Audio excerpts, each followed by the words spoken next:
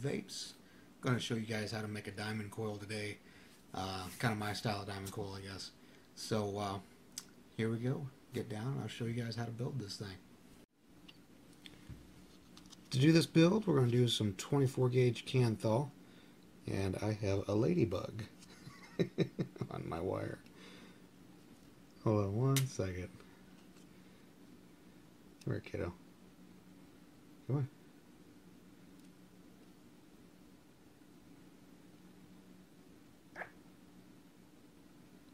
Well, you gonna get up there or what?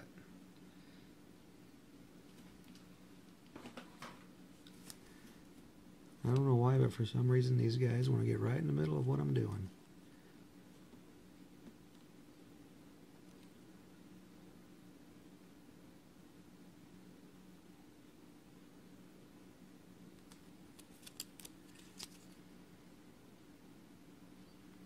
Come on.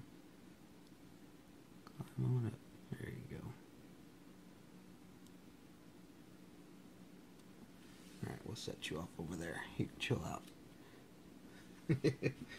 anyway. So, what we're going to do is going to be diamond coil, five wraps per coil, because it's four, basically four coils on one piece of Kanthal. So we're just going to take a length, just one roll around on this old spool.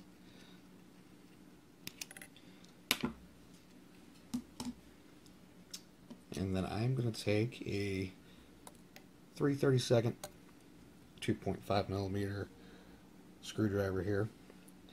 And you want to leave a pretty nice long leg because for some reason on this kind of coil it likes to pull in as you're tightening it up because it is a little springy when you get towards the end. So we go one, two, and you want to keep this nice and tight. Three, four, five, and here's where we start our second one.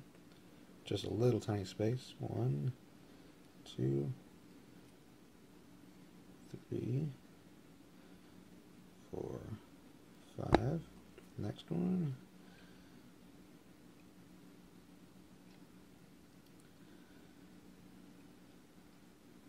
Next one.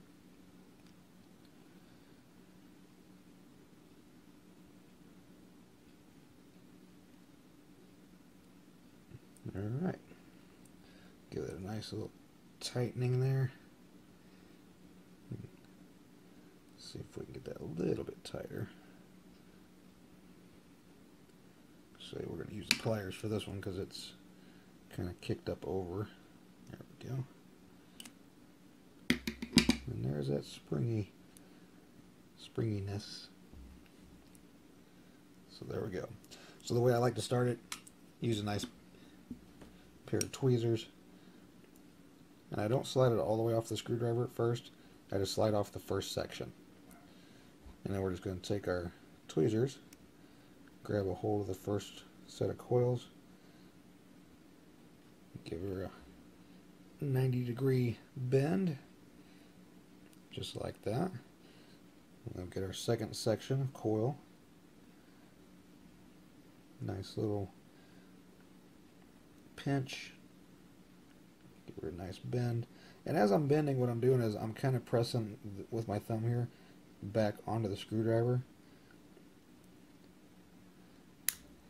There we go.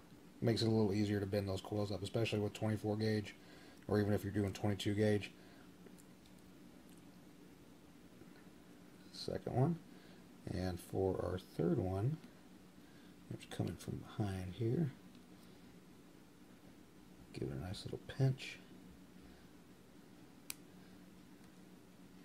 Grab this other section here and try it again.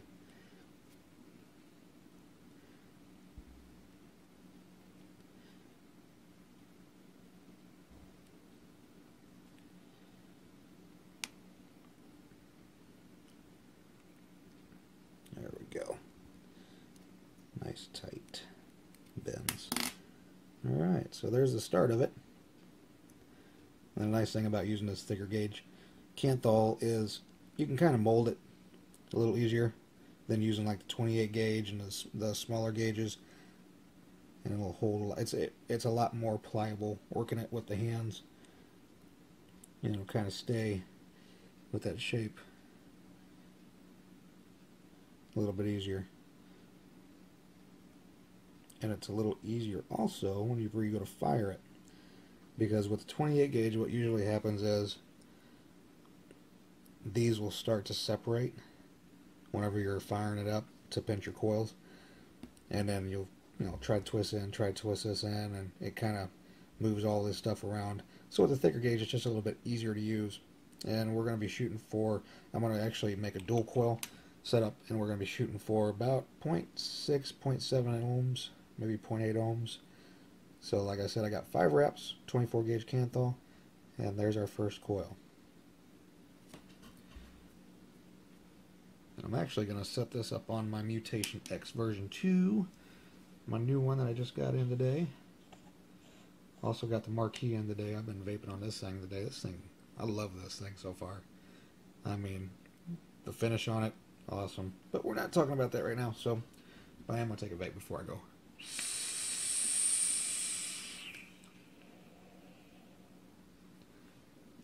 Some vapor for you. Alright, the way we're going to set this up with it being so close together is we're just going to go same side. We don't have to skip screws, in other words, like you do on some coils. Let me try to get a little closer in here for you guys. There we go.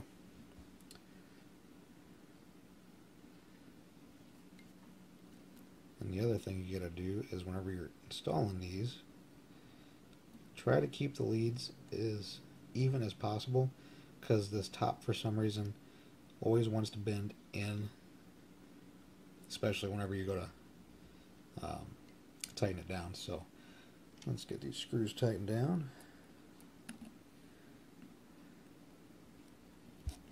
Right about there will work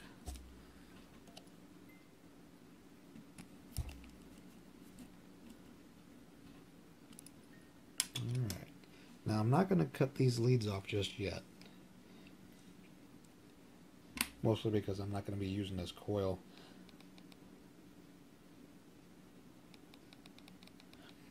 making it for a friend.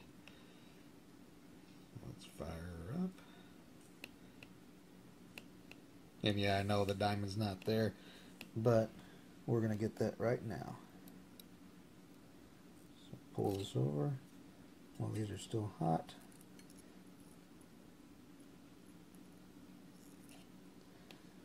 Give her another fire here.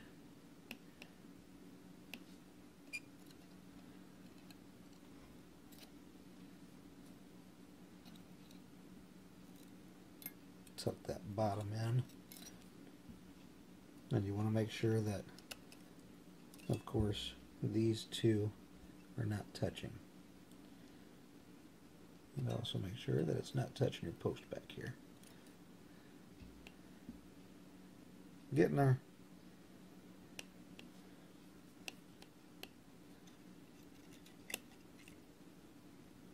Another pinch. Fire it up. Just go around and do each set of coils, get them nice and tight. Man, I gotta invest in some ceramic tweezers. After a minute, these things get hot.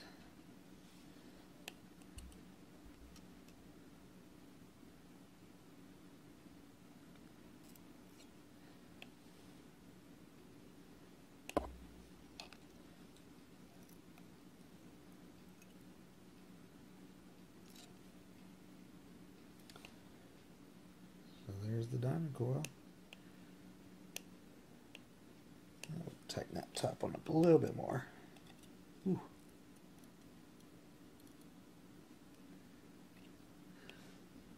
There we go. Sitting at 1.2 ohms. So whenever I put the other one in there, it should knock it down about 0.6 ohms. Be right about perfect. So now we got this thing firing and all tight. We'll let those coils cool down for just a second. and we'll get my cotton ready to go. So move this off to the side. Let's get rid of the screwdriver. All right. So just regular organic cotton. And the thing is, you've got to keep it somewhat thin, but you want it uh, a little bit tight when it's going through the coil. Mostly because whenever you're trying to pull this through, you got to you know go through and then come back the other side, and it always wants to kind of stay thinner around the bottom. And one of the problems I've noticed whenever it comes to the wicking on this thing is um, you'll get hot spots.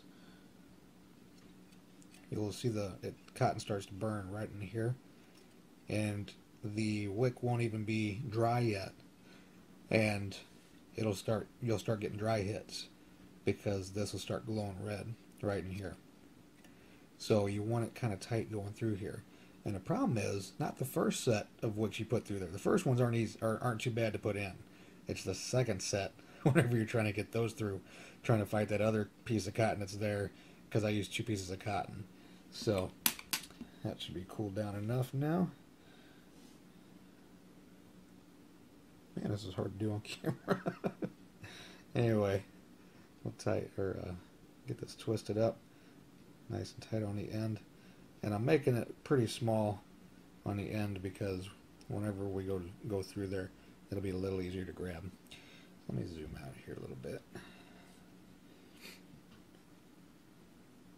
Alright, so we're going to push it through the top here. Oops. A little bit going through, then I just take a piece of Kanthal I got sitting around. Push it right on through.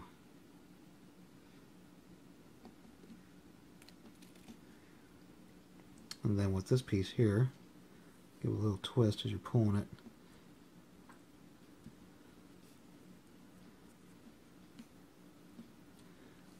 Go. Sliding through pretty good. So that's the first one. And I'll go ahead and trim this off a little bit. And leave it about that long on the top. Alright, that's the easy one. So now we're just going to kind of tie this back, tuck it out of the way as much as possible, because we're going to try to go through right here with the second piece. So, got our other piece of cotton here. Try to pull it and thin it up just a little bit. And then give her a little twist.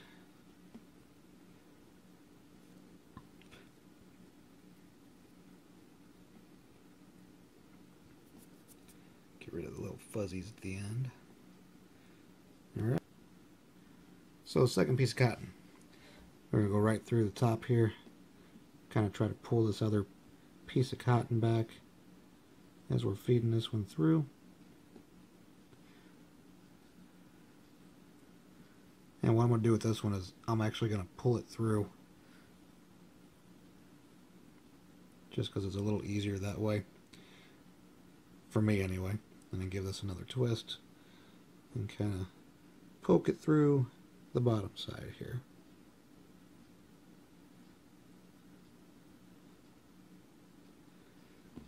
And we'll grab that little end.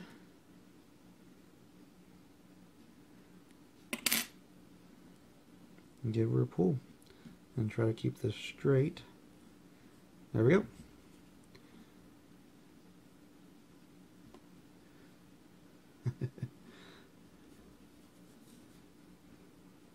Alright, now we're going to try to pull a little more through just to kind of tighten up that cotton a little bit. There we go.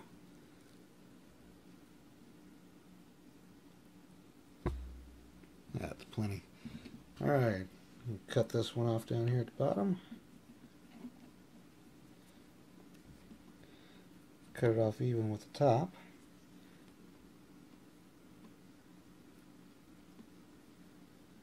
And there you go.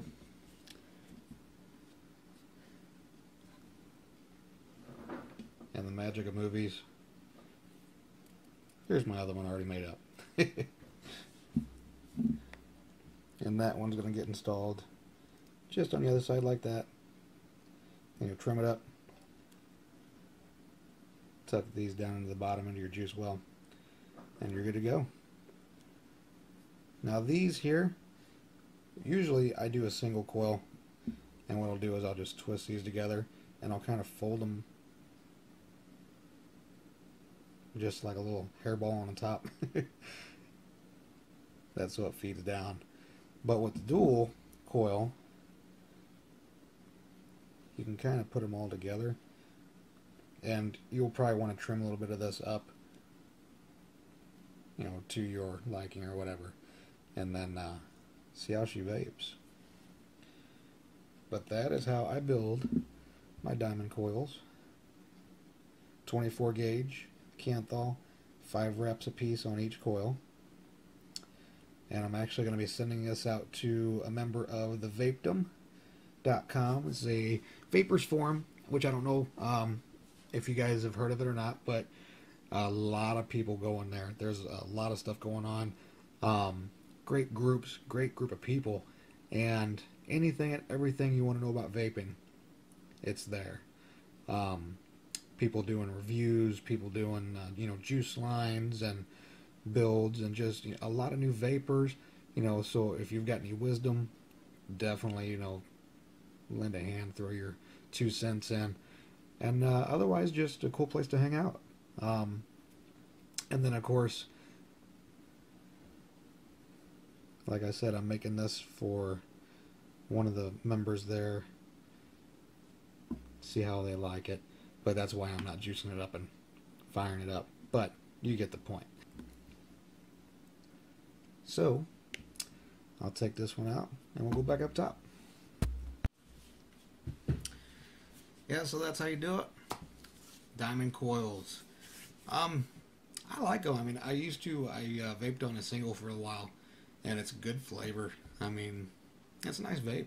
You know, and it's an easy build. I mean, fairly easy um, once you kind of get the hang of it and your spacing and stuff. But I mean, it is a good build, great flavor and uh, good vape. So and it's it's a low wattage vape too, for the most part. Even on a 22 gauge, I could vape it at you know 50 watts and be a nice flavorful vape and producing good clouds. So um, that's not something you have to turn up mega high to enjoy. Um, but anyway, now that we got that done, something I want to talk about is um, CASAA.org.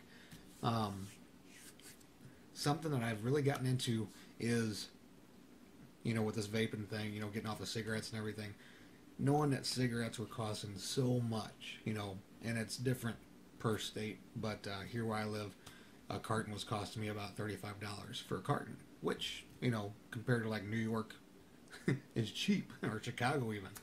Um, but anyway, whenever I went to vaping, um, I was using just an iClear 30 tank on an MVP, the first gen MVP. And, you know, it was doing pretty good. You know, I enjoyed it. It wasn't too bad, you know. And then um, the drippers came out, you know, started becoming pretty big. And I started getting into that. And seeing what some of these states are doing to um, these brick and mortars to the vapers, you know, uh, as far as trying to put taxes on things and ban um, certain things with them, and just pretty much putting a, putting a hurt on the community. You know, if you want to continue doing what you do and enjoy it without having all the penalties of, you know, bans and taxes and all this stuff, you've got to do something. I mean, nobody's going to do it for you you know, and I've written my state representatives, you know, about my concerns, um, and they've, you know, replied back, of course, with usually a generic reply, but at least it's out there. And go into CASAA.org, go in there, sign up, you know, become active, because the only person who is going to help this community is you. You know, the next guy, you know, who's thinking, oh, somebody else will do it. All you know, there's plenty of people out there. There's not. There's not very many of us. You know, it's it's something still somewhat new. You know, so if you don't want to see things changing for the worse, you've got to be the person to step up and do something. So yeah, CASAA.org. Um, also, the vapedom.com, awesome site. You know, great group of people there. Um, there's tons of groups. There's tons of um, just knowledgeable people, and also new vapers that are coming in and getting tons of information, advice, you know, and things like that from the veteran vapers that have been out, you know, doing doing it for a while. Um, and just very positive group. You know, there's not a lot of you know rants and raves and drama and all that stuff. You know that you see in some other places. As far as I've seen so far, you know, it's been a very positive, um, just upbeat kind of place to go. So I mean, check it out, thevapedom.com. Lots of people there. Um, also, shout outs. Mike Vapes, you shouted me out. Shout out back to you, sir. And just for you, let me get a hit of that shit.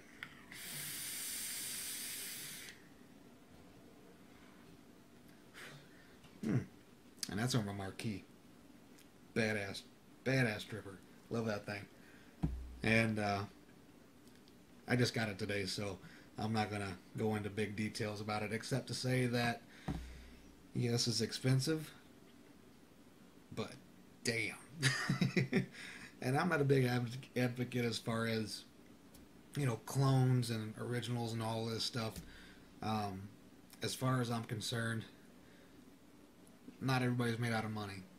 If it helps you get off the stinkies, by all means, do it. You know, um, my personal story as far as that goes, ever since I quit smoking, God, I feel better. I mean, just tons better. Um, I got two small kids. You know, they want to run run around with dad. They can do that, and I can keep up with them now for the most part. I had back surgery a few months, uh, actually April of uh, 2014, so couldn't run that great for a while, but getting better. Anyway, um, also, you know, the Vapor Chronicles. Check out Brian, man. That guy, very straightforward, straight shooter. Love watching him. Um, and the products that he's you know coming out with and reviewing. Good stuff. I mean, and it's good, straightforward stuff. And the nice thing, the thing that I like about him is, you know, these are guys that are going out there for the most part, and they're not getting everything handed to them. You know, and don't get me wrong. I mean, if they can, by all means, do it. I mean, I wish somebody'd send me something, but you know, I uh, I buy my own stuff, and I think if you know, don't quote me on this, but I'm pretty sure Mike and Brian both purchase their equipment. Actually, I think Brian does get a few things. Um, don't quote me on that, but I think he does get some products to review from these companies, which awesome, you know. But um, definitely check those guys out, the Vapor Chronicles on YouTube, Mike Vapes on YouTube, and then uh, definitely if you like my uh, videos, subscribe down here at the bottom. And like I said, check out casaa.org, thevapedom.com, and uh, I've got a group on our homebrewed vapes. Other than that, I think that's all I got for you. Hope you enjoyed the build and definitely give it a shot because I mean it's a good vape, you know, and it's something that uh, as small as a wick is, it actually does hold a, a, fair amount of juice, especially doing it on like that 330 second. You know, it's not like quite a nano coil, so you know you can fit a little bit more wick in there, so you're not dropping you know every three pulls.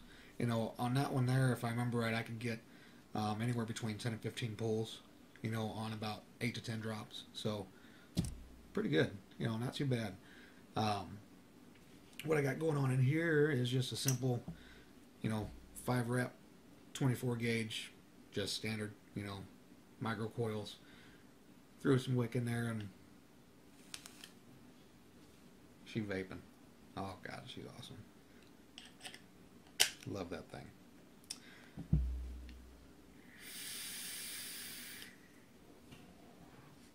And everything I've heard about this thing as far as flavor, spot on. Awesome. Um, but that Delta 2 I got also puts out awesome flavor. And actually, I would have to say the Delta 2 puts out better flavor than this. But it's all depending on the build you've got going on. And like I said, I just got this thing today. So I'm to try out a few different builds. Um, probably put a chimney in there or something. You know, maybe a single coil.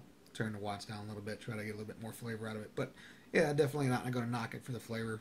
I just got it. So, but just saying, so far from what I've noticed, my Delta 2 uh, flavor wise, a lot better. But uh, definitely nice atty. And then got my new Mutation X in today in the black. And I mean, everything that can be said, I think, about this thing has been said by everybody. But definitely an awesome atty, especially for the price. You know, well built, nice and tight. And then the uh, wide bore drip tip that comes with it. Didn't like it at first, just because it was kind of weird, you know, getting used to that. Um, but I did get an adapter to put in there to put your regular 510 drip tips in. Works really well, but I kind of got used to that wide bore and kind of liking it. But um, definitely, probably going to vape on this thing for another oh week or two, and I might come back and do a little review on it or something. And then I know I said that I was going to do a review on the Sigelei 150 watt box mod, and that is coming. I'll probably have that up next week, so check it out. Um, other than that, I think that's all I got for you guys. So, uh, like I said, get active, check these places out. You know, drop in, say hey to somebody. Um, yeah, that's it. That's all I got. So, guys, take it easy and thanks for watching. And definitely, you know, I've I think I've got six subscribers. Thanks to you, six subscribers.